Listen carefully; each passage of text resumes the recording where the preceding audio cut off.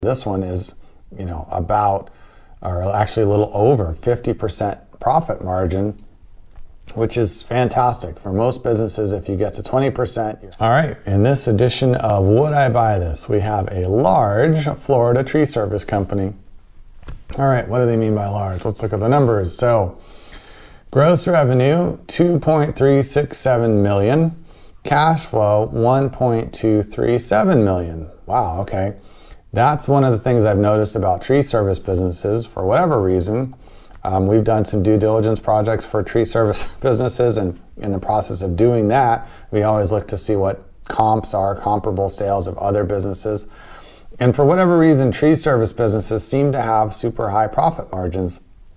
I don't know if it's because the equipment to get into it is pretty expensive. You need the big bucket trucks and the, and the grinders and you need people who are skilled enough to do it without killing themselves.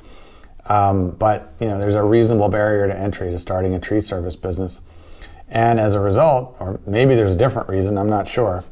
Uh, they generally seem to do really well profit-wise. So this one is, you know, about, or actually a little over 50% profit margin, which is fantastic for most businesses. If you get to 20%, you're happy. 25%, you're really happy. Anything over 25%, you know, you're, you're killing it. You're doing great as a business. So over 50%, I mean, that's about as good as it gets for, uh, especially for a business with real employees and real equipment. We're not talking about a virtual business. The asking price reflects the fact that this is a super profitable business. They're asking $10 million. I would put the price more like mm, six million, uh, a little over four times. Um, because the thing with a business like this is, um, and they well, they're saying the furniture, fixtures, and equipment is valued at three million dollars. Um, that seems like a lot to me for a business that's doing only 2.3 million. Maybe that's right though, but uh, that still implies that you could get everything this business needs to run with for 3 million bucks. So you're still paying more than four times that on top of the equipment value they're getting. So, yeah, I think 10 million is probably just too high, but it's a free country. They can ask whatever they want. Maybe they'll get uh, more than six. Anything over six, I think, would be a win for them. Six, I would call a fair price. Um, let's see if there's anything in here. Yeah, it says over 3 million in specialized tree equipment. Well, specialized tree equipment is just bucket trucks and and wood grinders. But um, they are in Florida, and they're pointing out hurricane and disaster cleanup and oversized trees.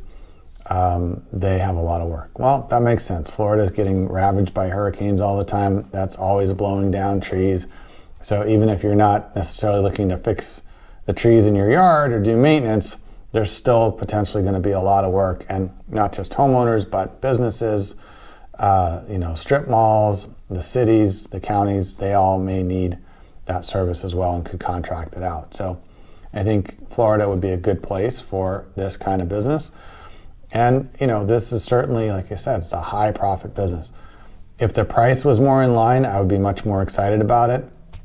But maybe, you know, it has to sit on the market for a while uh, for the price to come down, or maybe somebody's going to go in and snap it up and figure they can make it out, make it work later, or grow the business enough to justify the price. But um, in general, if I was looking to start a business or buy a business today, I would definitely look at tree service businesses. And for whatever reason, they seem to be super profitable, and I'm a big fan of super profitable.